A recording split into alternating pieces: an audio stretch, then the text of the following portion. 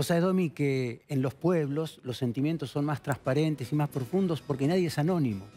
Y esta Ayacucho es una ciudad grande, 20.000 habitantes, pero conserva eh, esa relación, los habitantes campechana, intimista. Y los pueblos suelen enamorarse de determinados personajes, tienen que ser muy especiales, como este. Es un peluquero, se llama Luigi, tiene 87 años. Él llegó a los 18 a la Argentina sin oficios, tenía los rudimentos de peluquero, a los 18 años. Y se afincó en Ayacucho justo, eh, un peluquero histórico dejó la peluquería y se instaló él. Claro. Era joven y tuvo una circunstancia que le cambió la vida.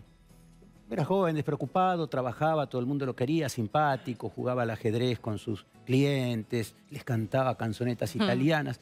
Pero un día se enfermó súbitamente, una peritonitis, y él tuvo miedo de morir, por un lado, y por otro lado descubrió el sufrimiento en el hospital. Y es un hombre creyente, eh, sensible, hizo una promesa. A partir de ahora yo voy a poner mi oficio al servicio de los desvalidos. Hace 50 años, Domi. Desde entonces, durante estos 50 años, los fines de semana visita el hogar de ancianos y el hospital y las casas de los que no pueden moverse y les corta el pelo Gratis. Vos sabés que la gente se enamoró de él, porque cuando le decían, eh, Luigi, ¿no me va a cobrar? No, a mí me paga Dios. vale la pena conocerlo, es un ejemplo luminoso de vida, sencillo, Domi. A ver, lo conocemos. Camisa blanca, arremangada silbando bajo, apurado va con sus dos manos en los bolsillos, en pleno invierno por mi ciudad. Ese es Don Luigi, el peluquero del viejo barrio de la estación, tan divino que se ha ganado de todo el pueblo su corazón. Buen día.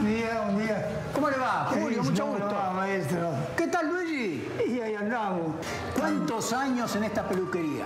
Yo entré acá el 10 de septiembre del 52. En el 52, ¿Y cuántos años tenía? 18. Que se la cuenta. 18 años. ¿Y de dónde vino Luigi? ¿Ya por el acento? De Italia. De Italia. ¿Solo vino? vino mamá, papá, mi hermano, mi hermano, cinco venimos. Toda la familia. Claro. Y después se, murió el peluquero de acá. Y justo recién vení yo y acá. ¿Ya tenía el oficio o lo aprendió acá? Y mira, me hecho mucho acá en Ayacucho. Aquí vamos. Acá en Ayacucho.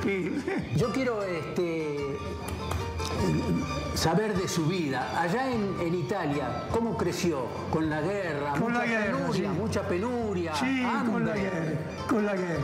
Había que emigrar con la guerra. ¿Qué, qué, sí. ¿Y acá encontró la paz? Acá encontró. ¿Encontró muchos amigos acá? Sí.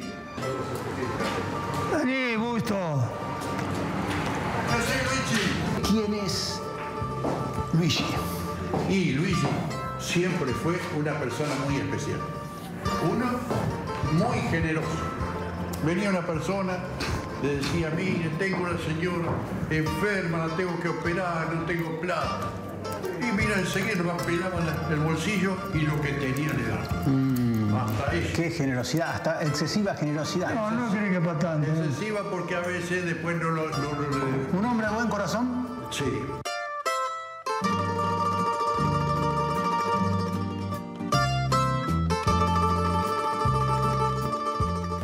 Me contaron, Luigi, que una vez tuviste un problema de salud. Sí, ya fue peritonitis. Cuando yo me operé, que uno, a veces pisa otro. Y bueno, yo digo, acá vengo siempre, porque otra vez otro puede brillar de mí. Claro. Salí del hospital. La solidaridad. ¿Y saliste del hospital y qué pasó? Y me fui a casa y ahí empecé a cortar, fui al hospital, al asilo me, me gustaba, yo vi que esa gente que necesitaba verme en la cama, y yo me arrimaba con ganas de abrazar. Pero sé que la gente me quiere. Y yo estoy contento. Lo que hice, lo hice de alma. Mamma soltanto felice perché ritorno da te. La mia canzone dice che è il più bel giorno per me. Luigi, un aplauso.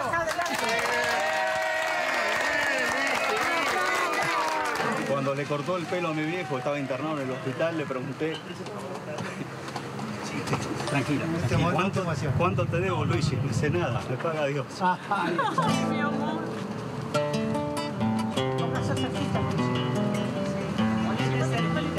Camisa blanca, arremangada, silbando bajo, apurado va con sus dos manos en los bolsillos, en pleno invierno por mi ciudad.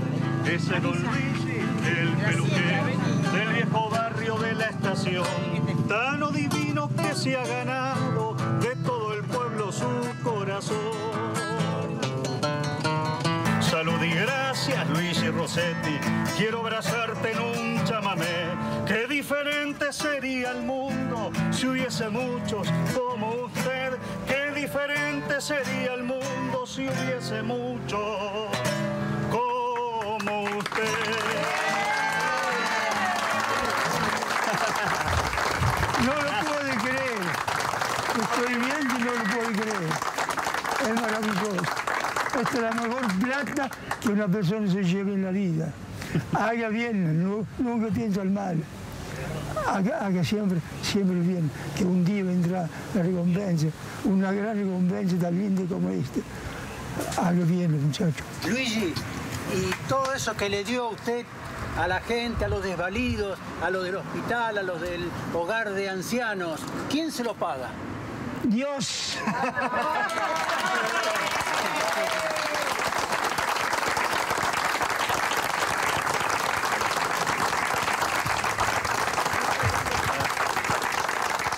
Precioso. Qué lindo personaje que nos trajiste, Julio Luigi. No parece de 87 años ni ahí, ¿eh? Está No, no, espléndido. Está muy vital, la gente lo quiere mucho y fíjate, insisto, todo el mundo lo quiere porque es bueno, es bueno de corazón y brinda el corazón. Viste que dice, el payador dice, qué diferente sería el mundo si hubiera muchos como usted. Y es cierto, ¿no, Domi? Es verdad. Gracias, Julio.